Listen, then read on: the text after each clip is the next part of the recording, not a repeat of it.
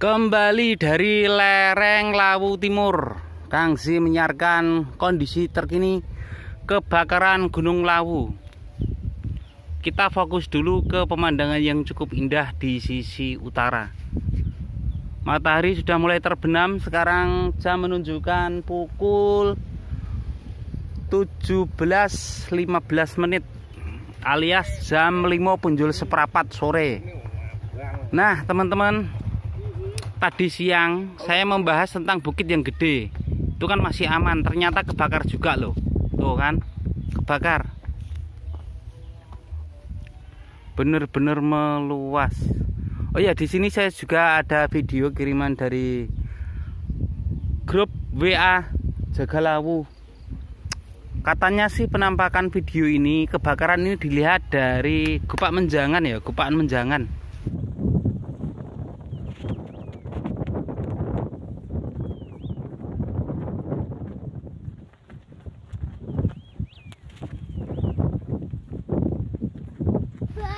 Nah, selanjutnya nih asapnya bener-bener parah. Mendung. Nanti malam baru kelihatan api nih. Tapi harapan saya besok sudah mati meskipun sekarang ini besar seperti ini besok sudah mati. Besok api ini mati. Kebakaran di Gunung Lawu sudah berhenti. Besok api ini wis mengecil. Untuk yang sisi utara ini sudah mulai meluas teman-teman. Tuh kan. Udah sampai ujung sana loh. Tuh kan udah memanjang. Tadi siang masih di tengah sini. Kemudian untuk bukit yang tadi siang saya banggakan terlihat hijau Ini sudah mulai terbakar semaknya loh ya. Yang terbakar ini semaknya Karena begini Penilaian saya Untuk bukit yang ini Ini tadi siang terlihat hijau. Itu untuk pohon besarnya dan sekarang jika terbakar keluar asap berarti ini yang terbakar hanya semak di bawahnya. Karena memang juga kita tidak melihat titik api di sini. Hanya asapnya yang mengumpul. Iki berarti songko daerah panean kono ketak enggak wenah iki. Panean kan yang gini panean. Pemadaman. Pemadaman apa? Gimana mau memadamkannya? Sama gede ini. Ya relawan sih tetap gerak tapi kan paling hanya membuat sekat kebakaran gawe jarak tok.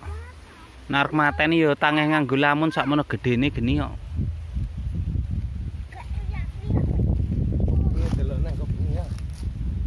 Kopnya apine ketok. Wis hampir tembus. Ya Allah geleng laun entek nih. Iya. Wong awan mau. Awan wabang. Mergo sing awan mau ba sing kobong iku sak wit-wite gede nek iki kan rak kene iki tak omong aku awan nggih video ning kene iki. Iki tak omong kawasan hijau. Hutane jek subur dadi sing kobong iki nggur Nggur anu tok semak ngisor tok ngono lho. Wite gedhe gak kobong mulane nggur ngebul tok iki. Iya, Nek jek nyalan tetep barane ki tok apine iki. Wah, bang aku wis awan ngari teng kono.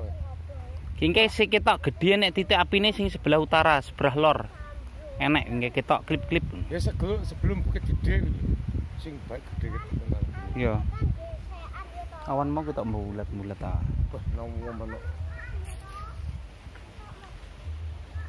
Tapi gunung kopo nggak kene tok ndelok iki. Oh, ngerti-ngerti kopo. Ora iya.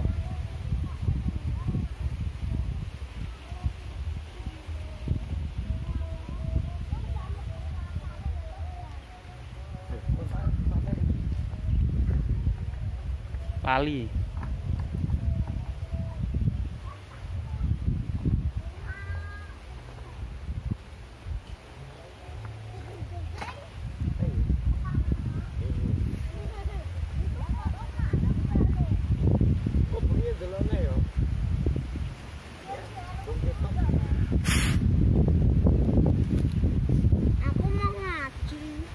Lah nyapa mau ngaji piye to? Eh? Bareng ngaji lagi ndelok genine apine piye to? Kok mau ngaji wah. Parah iki. Ora gelem ngaji ya.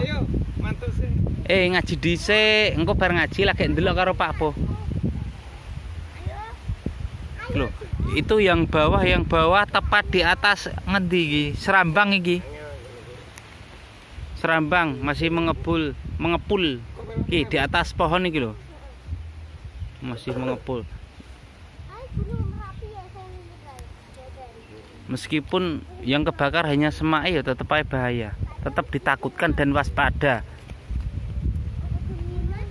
Semoga warga sekitar daerah Girimulyo tetap waspada ya karena di bawah masih ada api yang terus iki menjalar di bawah.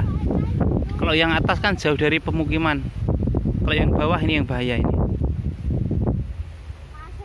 Ya Allah, aku jek mikir gitu loh, bukit yang loh, yang gede gitu. Yang tadi siang saya banggakan terlihat hijau, ternyata kebakar juga semaknya. Ya Allah. Gunung Lawu.